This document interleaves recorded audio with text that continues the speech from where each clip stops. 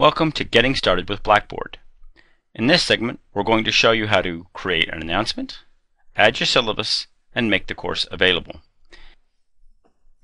Announcements post timely information critical to course success. The instructor can add, edit, and delete announcements from the announcements page.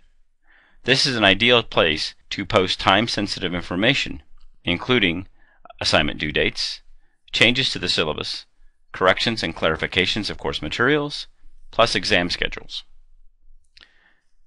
Open Blackboard. On the My UIW tab, locate your course and click it. This opens to the home page. On the home page, you'll notice My Announcements. Click More Announcements. Click Create Announcement. Add a subject and a message. Click Spell Check to correct any spelling errors that you may make. Scroll down. You have two choices for duration, date restricted or not date restricted. This will be a not date restricted announcement. Next, check the box that says send a copy of this announcement immediately. This will send a copy of this announcement to all the students through Cardinal Mail. Finally, click Browse.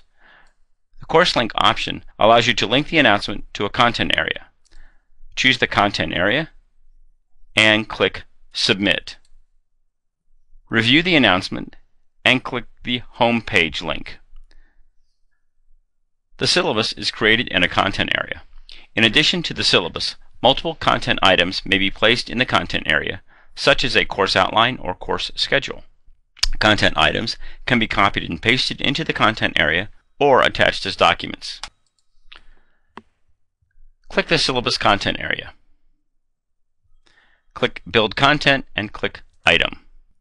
Next, add a name and add text. You can add instructions or you can paste the entire contents of the syllabus into the text area. We're going to attach the syllabus as a document. From the text area, scroll down and click Browse My Computer to locate your syllabus. Click on the syllabus to attach it and review your options. The track number of views option is helpful because you can track when and how often a student views the item. Click Submit. The syllabus appears in the syllabus area. If you'd like to add additional content items, click Build Content and click Item, then follow the same procedures. Instructors can set courses to be available or unavailable. If the course is available, all users participating in the course will have access. If the course is unavailable, students cannot view the course because unavailable courses do not appear in the course catalog. Click the Courses tab at the top of your Blackboard page.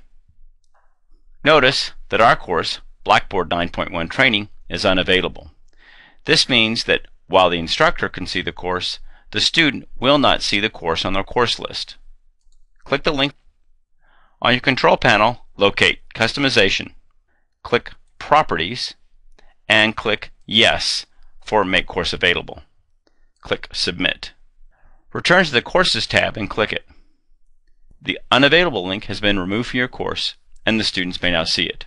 You're now ready to use Blackboard.